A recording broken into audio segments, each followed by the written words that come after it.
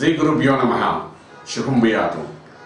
మేషరాశి వారికి ఆగస్టు మాసం ఏ విధంగా ఉంటుంది అనే విషయాన్ని మనం మాట్లాడుకుంటున్నప్పుడు బంధువుల ద్వారా చక్కటి శుభవార్తలు వినడం అన్నదమ్ముల మధ్య సఖ్యత పెరగడం ఆర్థిక లావాదేవీలలో నష్టపోకుండా కొంతవరకు అభివృద్ధి జరగడం అనుకున్న పనులు అనుకున్నట్టుగా సాధ్యం చేయడం ఏ పని చేసినా ఆ పనిలో కొంతవరకు ఫలం అనేది అద్భుతంగా కలగడం పడ్డ కష్టానికి తగ్గ ఫలితం కూడా కనిపించడం. ఇలాగ మనం చెప్పుకుంటూ పోతుంటే మేషరాశి వారికి ఆగస్టు మాసం అనేది కొంత శుభప్రదంగా ఉంది అని చెప్పడానికి అవకాశం ఉంది. ఈ మేషరాశిలో ఉన్న వాళ్ళు ప్రత్యేకించి రియల్ ఎస్టేట్ రంగంలో ఉన్న వాళ్ళకైతే ఆర్థిక లావాదేవీలలో ఇంతకుముందు చేసిన దానికి ఫలితం కనబడే అవకాశం ఉంది. అగ్రిమెంట్స్ చేసుకోవాలనుకున్న వాళ్ళు చక్కగా అగ్రిమెంట్స్ చేసుకోవచ్చు. కన్స్ట్రక్షన్ ఫీల్డ్లో ఉన్నవాళ్ళు భూమిని అమ్ముకొని కొనుగోలు చేసే వాళ్ళకి చక్కటి ఫలితాలు వచ్చే అవకాశం ఉంది. శ్రీరంగంలో ఉన్న వాళ్ళకి ఇంతకుముందు రావాల్సిన ఆర్థికమైన బలం పెంచుకుంటూ రావాల్సిన ధనం రావడం అనేది జరుగుతుంది. మేషరాశిలో ఉన్న అశ్విని భరిణి కృతిగా మొదటి పాదంలో పుట్టిన వాళ్ళందరికీ కూడా.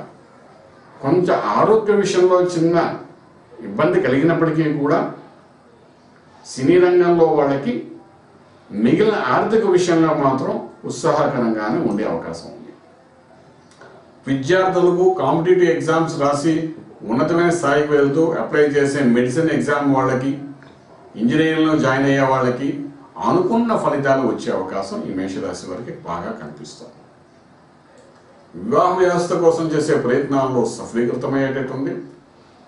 కొంత లఘు పరిశ్రమల్లో ఉన్నవాడు కుటీర పరిశ్రమల్లో ఉన్నవాడు చేసే ప్రయత్నాల్లో కొంతవరకు ఇరుక్కున్న ఆర్థికంగా వ్యాపారపరంగా ఉన్నతమైన స్థాయికి వెళ్తున్న ఆర్థికమైన బలాన్ని కొంత బలహీనపడే అవకాశం వారికి మట్టు కనిపిస్తుంది.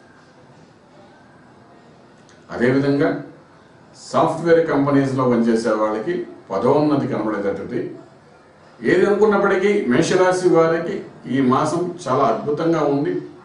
సుబ్రహ్మణ్యేశ్వర స్వామి వారికి చక్కటి అభిషేకం చేసుకుని ఆ తీర్థాన్ని తీసుకుంటూ ఆ స్వామివారి యొక్క కవచము అంగారక కవచము కుజ కవచం అంటారు. ఇటువంటి చదువుకోవడం అంటే భూ సంబంధమైన వ్యవహారాల్లో ఏమైనా ఆటంకాలు ఉంటే లావాదేవీలో అది బయటపడి యోగంలో తీసుకోవడానికి అవకాశం ఉంటుంది. ఆ విధంగా ప్రయత్నించండి రాజమార్గంలో రాజీవ్ పొందగలుగుతారు.